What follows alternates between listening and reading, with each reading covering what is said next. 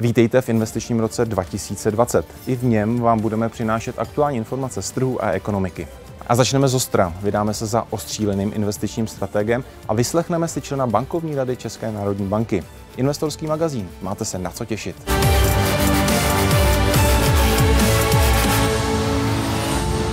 Letošní rok může být na jedné straně ve znamení velkých rizik, ale na druhé straně i zajímavých příležitostí. Na jaké výzvy se mají investoři připravit? Myslím, že nás čeká a teď opravdu nedokážu říct, jestli velmi negativní překvapení nebo velmi pozitivní v tom duchu, který bude pokračovat, ale myslím si, že nás čeká něco výjimečného, že to nebude standardní rok se standardním průběhem. Historicky velice nízké úrokové sazby pomohly v posledních letech mnoha firmám, spotřebitelům a dokonce i státům. Návrat do úrokového normálu i proto může hodně bolet. Začátek roku bývá ve znamení předsevzetí. I my nabídneme několikrát, jak žít lépe, a to nejen letos. Vaše investice, váš život, vaše budoucnost. Sledujete investorský magazín s Petrem Novotným.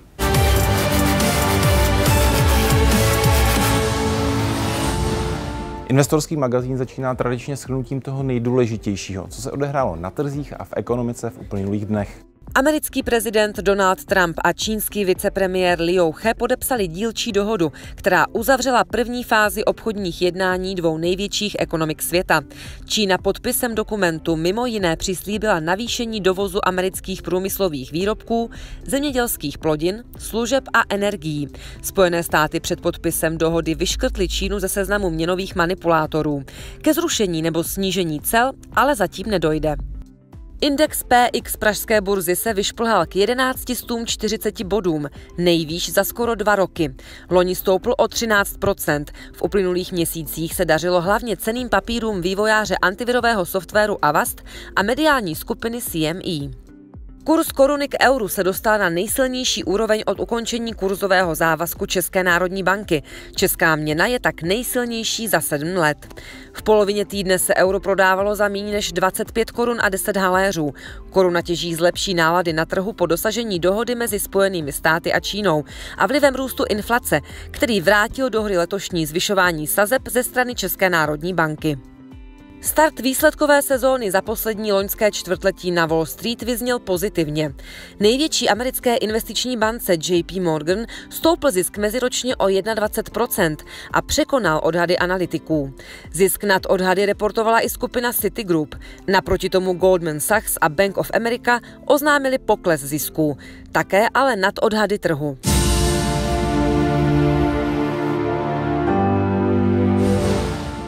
S čím vstupuje světová ekonomika a hlavní burzovní trhy do investičního roku 2020? O své pocity z aktuálního dění na trhu a vyhlídky pro jednotlivé trhy se se mnou podělil Filip Kejla, investiční strateg z maklerské společnosti Wooten Company. Mý pocity jsou smíšený, protože na jedné straně to, co předvedli, celá řada z těch aktiv loňský rok bylo neuvěřitelný. Vlastně všechny aktiva zhodnocovali. Co se týká měření toho indexu S&P, který vyrostl 25% po 11 letým beaching trendu, je vlastně neuvěřitelný. Ale já jsem trošku v rozpacích s tím, jestli to bylo podložené opravdu nějakým fundamentem. Jo? To znamená, že když se podíváme na ten rok 2020, už jako z pohledu té mystiky, ty čísla 2020 jsou zajímavé, tak si myslím, že nás čeká a teď opravdu nedokážu říct, jestli velmi negativní překvapení nebo velmi pozitivní v tom duchu, který bude pokračovat, ale myslím že nás čeká něco výjimečného, že to nebude standardní rok se standardním průběhem, ale že nás čekají buď to velmi volatilní seance napříč všema aktivama. Jak se eh, bavíme o akcích, bavíme se o zlatě, bavíme se o, teda o komoditách, bavíme se v podstatě o obligacích, tak eh, napříč tím trhem si myslím, že ta ekonomika bude, bude muset ukazovat jako velmi zajímavý výtlak na jednu nebo na druhou stranu. Ty jsi zmínil ty americké akcie a tím se investoři hodně věnovali, skoro 30% mínus. Jak eh, se díváš teď na graf S&P 500? Eh, já jsem tady vlastně nějaký grafy ukazoval a musím říct, že nechci vůbec vypadat, že bych někoho strašil, jo? ale myslím si, že tady jsou dva grafy, které nám ukazují. První nám ukazuje, co se dělo od roku 2002 do roku 2007 až 2008, kde bylo prostě krize Lehman Brothers. Když se podíváme potom na schodný graf 2014 až 2018 až 2019, tak vlastně vidíme tu korelaci. Já nechci říkat, že ty trhy se chovají stejně, ale v nějakých určitých řádech se chovají stejně. Takže i z tohohle toho důvodu, když se podíváme na ziskovost těch firm v Americe, která vlastně udává ten trend, když se podíváme na celou ekonomiku, když se podíváme, teď nechci říkat černý labutě, ale podíváme se zase, máme eh, Severní Koreu, Brexit, máme Irán teďka, máme čínsko-americkou obchodní válku. Těch rizik, které jsou a souvisejí s tím trhem, je tak velké množství, že si myslím, že to, co se děje teďka v roce 2019 a pokračuje, není opodstatněný a z mého pohledu by si prostě investoři měli začít dávat velký pozor na to, co se bude dít v budoucnu. Co vůbec ocenění trhu? Ocení trhu z historického hlediska samozřejmě každý se může ohánět různými čísly, ale když se podívám čistě pragmaticky ocenění na bázi PE, takový ten klasický ukazatel, které v dnešní době, musím říct, že z pohledu fundamentální analýzy, technické analýzy a psychologické analýzy teďka na trhu funguje nejvíc psychologická analýza. Když se vrátím k té fundamentální a beru to pohledem mě, toho ukazatele PE, tak jsme historicky na desetiletým průměru v podstatě u 18 a to je opravdu hodně. A ten americký trh je toho teď když se bavím striktně o americkém trhu, tak je toho ukázkou a myslím, že tady jasně vidíme 12-měsíční nějaký PE ratio, v podstatě jsme na úrovni uh, nad 17, skoro u 18. U pětiletého PE ratio jsme trošku níž, nicméně ten americký trh eh, je na drahý. úrovni S&P je opravdu drahý, někde o 30, 35% Kromě toho bych tam i započítal věci jako typu buybacky, skupují se vlastní akcie, které zase samozřejmě tu výkonnost jako zlepšují na venek, jo, na pohled, ale není to to standardní, že, eh, standardní jako ukazatel toho, že ekonomika by šlapala, výsledky firm by byly na základě toho fundamentu, že se opravdu daří na všech stránkách, tak to si myslím, že tenhle ten graf tomu neodpovídá. Co další trhy, které se ti zdají levnější, atraktivnější? Já si myslím, že teďka dochází už i částečně k tomu, že lidi si začínají všímat, že Amerika jako nejlikvidnější je to top číslo jedna samozřejmě. Chtějí tam všichni být a chtějí se toho účastnit. Ale na druhou stranu si myslím, že možná i tady za Humny se odehrává něco, co je méně rizikovější, více atraktivnější. Samozřejmě z pohledu likvidity, když se bavím konkrétně o českém trhu, tak je to samozřejmě neštěstí, ale myslím si, že to neštěstí se dá změnit. Jako myslím si, že jsme na té úrovni fakt jako kvůli MIFIDům a kvůli regulacím velmi nízko i objemově a myslím, že se to dá všechno napravit. Důležité je, že si tady dokážeš najít stoky a vlastně cený papíry, které jsou velmi zajímavý výnosově, jak dividendově, tak i, i tou, tím oceněním. A to není jenom Česká republika, je to celý ten region. Může to být, můžou to být akcie v Polsku, Polsku, v Maďarsku, v Rumunsku, kdybych řekl Turecko, který už je trošičku rozvinutější a, a v první řadě samozřejmě ta Praha, kterou máme tady za Humny a kterou, na kterou někdy koukáme skrz prsty, ale vlastně ji nejvíc rozumíme, umíme ji a mně se zdá velmi zajímavá. Kdybys byl konkrétní, jaké akcie se ti líbí? Tak samozřejmě jde, jde o to vybrat nějaký sektorové věci. Když si investor řekne, byl nějaký přeliv z emerging markets, tady z těch trhů právě do Číny a do Dubaje, to se stalo v loňský rok. Kdybych si chtěl říct, že v rámci regionu budu v nějakém segmentu, tak je to prostě samozřejmě bankovní sektor a pak jsou to ty utility, mezi, mezi nimi prostě samozřejmě ČES. ČES je cený papír, který je teďka z mého pohledu fundamentálně velmi zajímavý, ale na druhou stranu říct, že o něj už dva roky neví v podstatě nikdo zájem. Dividendově je velmi zajímavý, hospodaření se vylepšuje, všechno vlastně souvisí s tou predikcí, co bude do budoucna. A to si myslím, že pro elektřinu hraje velmi, velmi pozitivně. Z mýho pohledu bych jenom zmínil, že by se všichni měli zamyslet nad tím třeba, co dokázala Tesla. Tesla souvisí s elektroautama a elektroauta je prostě podle mě otázka budoucnosti, která nepřímo souvisí například s hospodařením Česu, protože je to všechno o elektřině. Takže jsou tam takový Eh, konsekvence, které je potřeba jako najít, hledat, ale myslím si, že v rámci toho regionu tohle může být třeba například cený papír, který může být velmi zajímavý. Co bys vůbec poradil investorům pro letošní rok? Nějaká to je rada? Eh, je to strašně těžké a myslím si, že nejhorší jsou takové ty eh, analytické predikce typu S&P dosáhne takové hodnoty, PX index takové hodnoty. Tímhle směrem by vůbec nešel, protože to je opravdu věštění z křišťálové koule. Ale myslím si, že těch černých labutí, který můžou přijít a přiletět a můžou z jakýhokoliv směru a už jsou fakt neuchopitelný, je tolik, že neříkám, začněte jít proti trhu, začněte to shortovat, spekulovat na pokles, ale začněte snižovat expozici a v rámci těch angažovaných trhů, jako je Amerika, právě na úkor třeba nějakých těch trhů, které jsou jako emerging market zbraný, ale jsou velmi zajímavý. A být opatrný, být opravdu opatrný, začínat se přesouvat po těch 12 letech růstu do těch cashových pozic a počkat si na tu příležitost. Protože zažili jsme to několikrát, jsem zažil krizi 2000, 2001, 2007 a vím, že to vždycky přišlo nečekaně a, a ten trh nebyl připraven. Hodně to bolelo. A hodně to potom bolí a lidi si potom neuvědomují a už nejsou zvyklí na to, že se prodělávají peníze. Jo? A myslím si, si, že v tomhle by vždycky měli být opatrný, protože to je prostě finanční trh.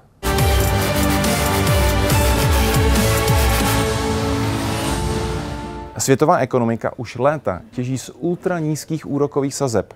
Párty ale musí jednou skončit. Co by to mohlo znamenat, naznačil na lednovém investičním fóru Aleš Michl, člen bankovní rady České národní banky. Když si vezmete poslední tři recese v Americe, vzpomenete si na ně, tak to byl rok 1991, předcházela tomu realitní bublina a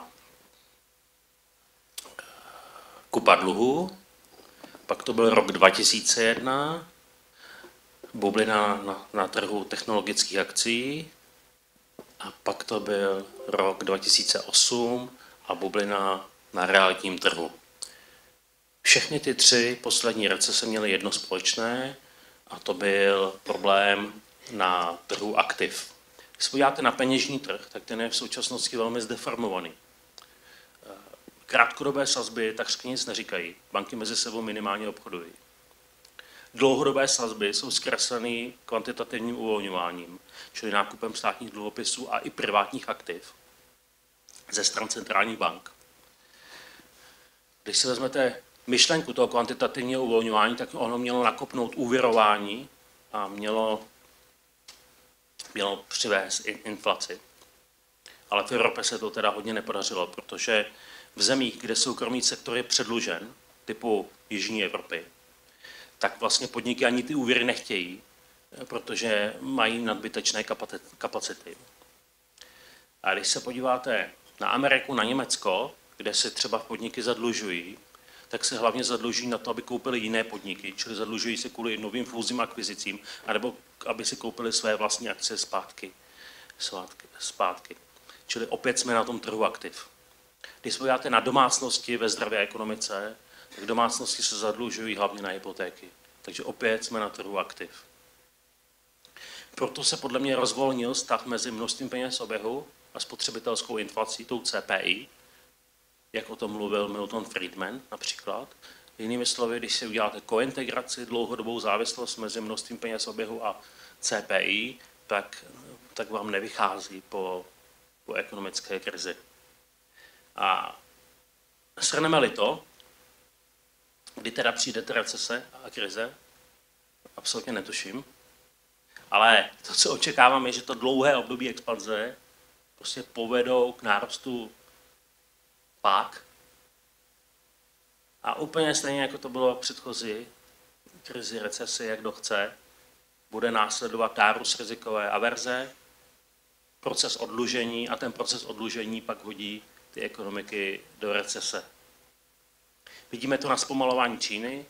Vlastně hlavní brzda růstu Číny je, že centrální banka zavalila, že se bude méně půjčovat, konkrétně například na auta, čili tam probíhá proces odlužování. A vidíme to i na, na politice Fedu. Jestli si vzpomenete, tak eh, pokus snížit bilanci Fedu, americké centrální banky, skončil tak, že došlo k problému na repo trhu v Americe. Čili hlavní centrální banky v současnosti podle mě čelí takovým, takovému paradoxnímu dilematu, že může přijít buď velká inflace na trzích aktiv hlavně, anebo naopak drsná deflace. Obě dvě ty možnosti jsou úplně možné. A když si to vezmete proč, tak normalizace sazeb, normalizace znamená, že se budu chtít zpátky vrátit z hlavní úrokovou sazbu na nějakou úroveň, která byla před rokem 2008 tak ta normalizace sazeb v těch zadlužených ekonomikách může vést k defaultům, ke krachům firm, ke krachům bank a, a následnému až procesu odlužení a následné daleko větší recesi, ještě než byla ve 2.8. A to je jich Evropy, ale to je i Švédsko, kde, kde prostě ty sazby jsou strašně extrémně nízko stále kvůli zadlužení domácností. A naopak pokračování současné uvolněné, uvolněné politiky může skončit velkými bublinami na trzích aktiv. Vycházíme z toho, že sice nevíme, kdy ty recese budou, ale víme, že budou vzácné, náhlé, že budou o to drsnější, že budou spojeny s prachama s korekcí na trhu aktiv. To je jediný, co vím.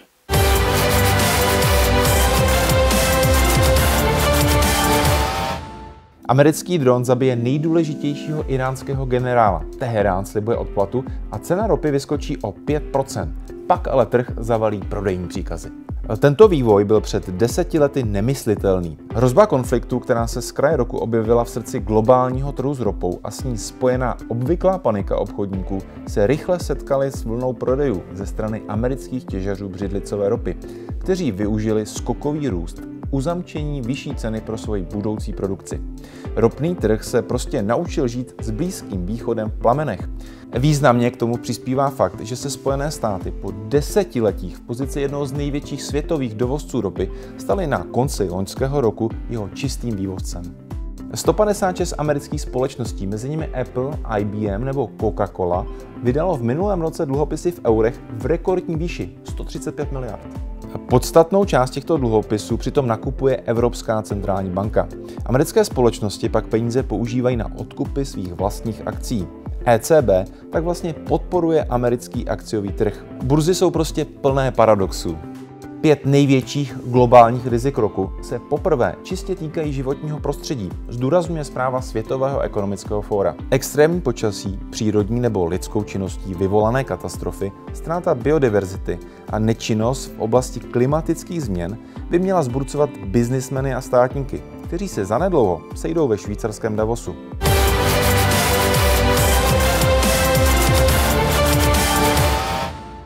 V prvním investorském magazínu roku 2020 nemůže chybět pár rad, jak v dalších měsících změnit svůj život k lepšímu. Jestli už tedy nemáte vlastních předsevzetí dost, nechte se inspirovat.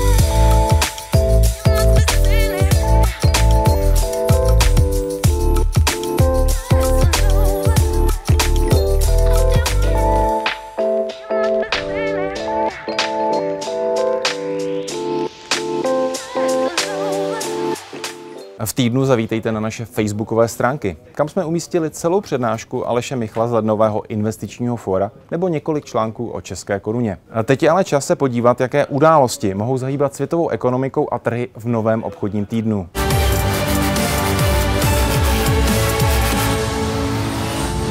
Výsledková sezóna se hlavně ve Spojených státech rozběhla naplno. V týdnu oznámí svá hospodářská čísla mimo jiné Microsoft, Intel, American Express a dál třeba Netflix, IBM, Johnson Johnson, Starbucks a American Airlines. V Ázii se přidá banka Nomura a automobilka Hyundai. V Evropě pak například španělská banka Sabadell, Fiat, Remy Contro nebo holding ASML. V pondělí jsou americké trhy zavřené kvůli státnímu svátku. Makroekonomický kalendář nabídne zajímavější data až ve středu, kdy vyjde index aktivity Chicagského Fedu, index cen domů a prodeje starších nemovitostí. Ve čtvrtek zaujmou předstihové indikátory a v pátek budou sledované předběžné indexy nákupních manažerů. Evropských dat bude na trhy chodit přece jen víc. V pondělí to budou výrobní ceny v Německu a v úterý britská nezaměstnanost a index ekonomické nálady CEF pro Německo a celou eurozónu. Ve středu zaujme britský maloobchod. To hlavní se ale odehraje ve čtvrtek, kdy bude o měnové politice rozhodovat Evropská centrální banka a vyjde také spotřebitelská důvěra v eurozóně. V pátek pak přijdou na řadu předběžné indexy nákupních manažerů a v Česku bude oznámena spotřebitelská a podnikatelská důvěra. Na ostatních globálně významných trzích si řeknou o pozornost v úterý hrubý domácí produkt Jižní Koreje. Ve středu pak zasedá Kanadská centrální banka a výjdou tamní data o inflaci a o cenách domů. Ve čtvrtek budou investoři sledovat data z australského pracovního trhu a ruskou průmyslovou výrobu. A v pátek, kdy se neobchoduje v Číně a Koreji, přijdou na řadu japonská inflace a údaje z kanadského maloobchodu.